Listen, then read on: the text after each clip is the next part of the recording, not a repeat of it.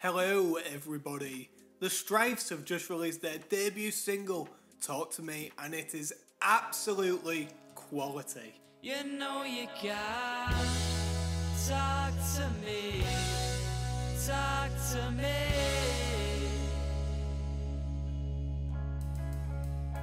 Now, let me talk to you about this tune.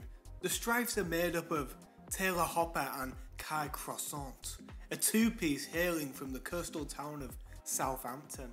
Influenced by indie rock bands such as The Enemy, Kings of Leon, and The Snuts.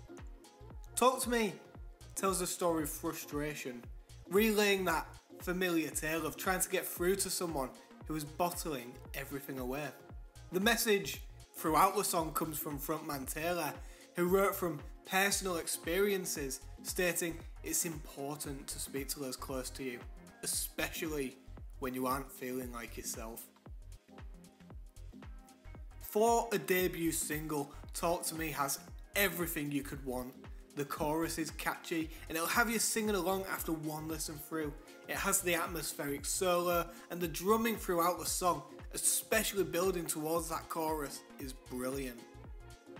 A young band writing above their means with a song that sounds refined, polished, and tight.